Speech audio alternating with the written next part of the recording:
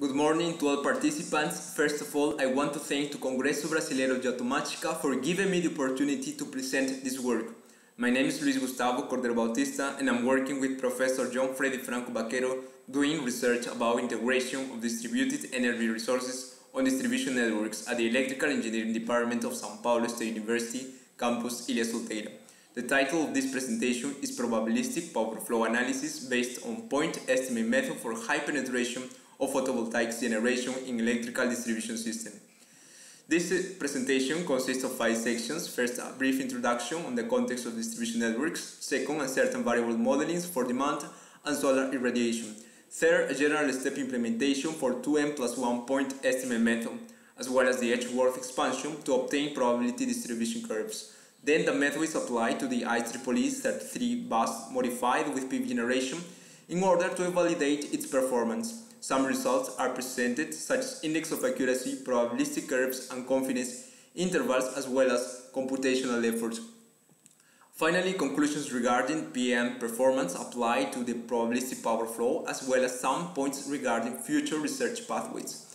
So let's get started by a brief introduction of power system concept, where power plants supply energy all the way through transmission distribution to customers, thus operating with unidirectional power flow.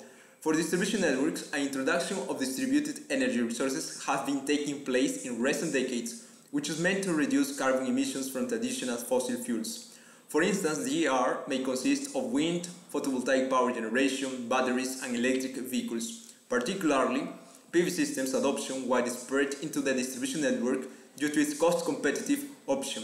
This technology brought system support benefits, bill reduction, and independence from traditional fossil fuels, However, the traditional distribution network was not designed to operate under intermittent power generation, and this poses issues uh, such as power flow reverse, overvoltages, and thermal overloading. In this context, a traditional deterministic power flow is not enough to capture the system behavior to evaluate impacts of non-dispatchable generation into the system. For this reason, a probabilistic power flow is essential to cope with these uncertainties.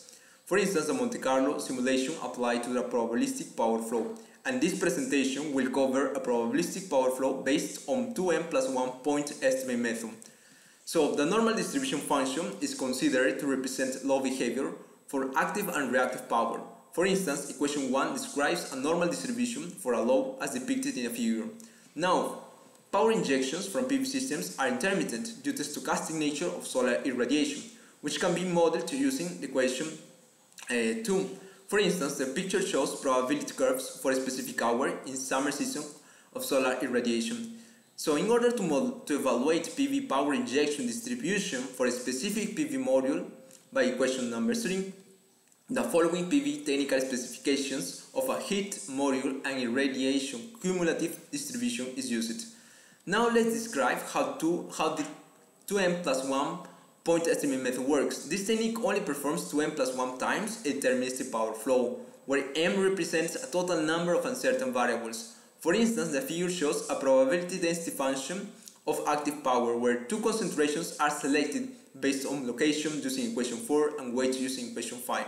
This technique uses skewness and kurtosis information of the uncertain variable to determine its standard location by equation 6 so for each location, a deterministic power flow is calculated while the remaining variables are fixed to the respective values. Finally, an additional deterministic power flow is calculated using respective values for all uncertain variables. Once it is computed all deterministic power flows, statistical information can be obtained using equation 9 for a specific variable of interest. Another way to represent the statistical information of a variable is using their cumulants, which can be calculated using equation 10. In order to approximate probability curves, the Edgeworth expansion is applied up to its fifth order of cumulants using equation 11 and a normal distribution reference function by equation 12. For instance, the picture shows a blue line curve which is the Edgeworth expansion approximation describing the behavior of a voltage. A general implementation for a 2n plus 1 point estimate method is applied to the probabilistic power flow. First, initialize variables define the circuits and uncertain variables modeling. Then an uncertain variable is selected and concentrations are calculated to perform a deterministic power flow for each location. By doing so, statistical information is updated for a variable of interest, and it continues until all n variables are evaluated. Then an additional deterministic power flow is calculated and, and the moments are updated. Finally, using this information, the Edgeworth expansion is applied to obtain the probability curves approximation. From this point of ahead, case study and results will be presented. Basically, the process goes on defining the circuit and certain variable modeling, calculation of raw moments. Using this information, statistical analysis such as expected and standard deviation as well as probability curves can be calculated. And this information is of special interest for the system operator for decision making to accept or not a higher or lower value of probability regarding overvoltages, power flow reverse, and assets utilization. So in order to validate the performance of the method, the IEEE 33 bus radial distribution system is modified with PV generation. generation. This system works with a nominal voltage value of 12.66 kilovolts and the load demand is 3.7 uh, megawatts and 2.3 megawatts. This study considered four cases, a baseline without PV generation, case 2, 2 PV systems, case 3, uh, 4 PV systems, and case 4, 6 PV systems. So to assess the quality estimation of the method, it is compared to Monte Carlo simulation, which is commonly used for benchmark purposes. Uh, the average root root mean square index is used for expected and standard deviation. The Monte Carlo technique simulates 10,000 scenarios and low standard deviations are set arbitrarily between 5 to 10%. Then the PV power injection Eh, for a solar radiation is modeled by a specific hour in summer season. Also, the maximum PV generation is considered up to 1. Point megawatts peak.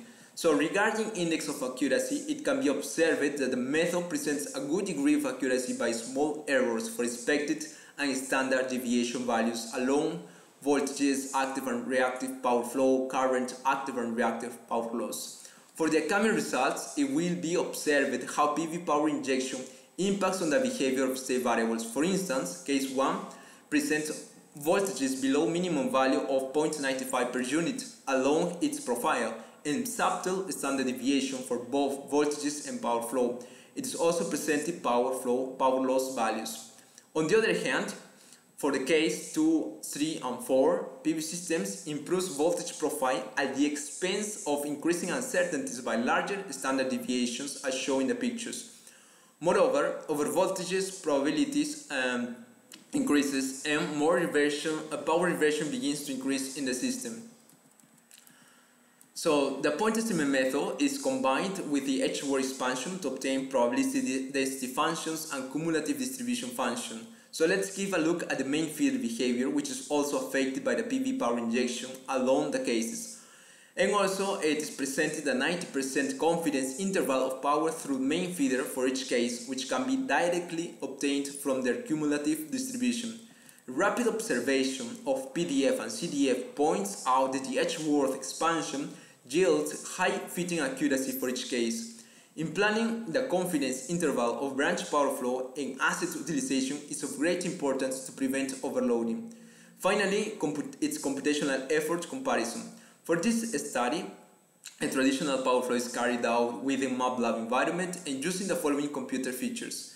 The point estimate method combined Edgeworth expansion takes on average 4 seconds and the Monte Carlo simulation for benchmark results considering 10,000 scenarios takes on average 220 seconds. Some conclusions are drawn from this study. Probabilistic power flow provides essential information, essential statistical information to system operators for planning and decision making regarding technical issues. The method overcomes the lack of perfect statistical information, reaching acceptable statistical results compared to Monte Carlo. State variables estimations are measured by RMS index which proves a good degree of accuracy by acceptable errors. High fitting accuracy is observed for PDF and CDF curves by Edgeworth expansion, thus overcoming the lack of perfect statistical information.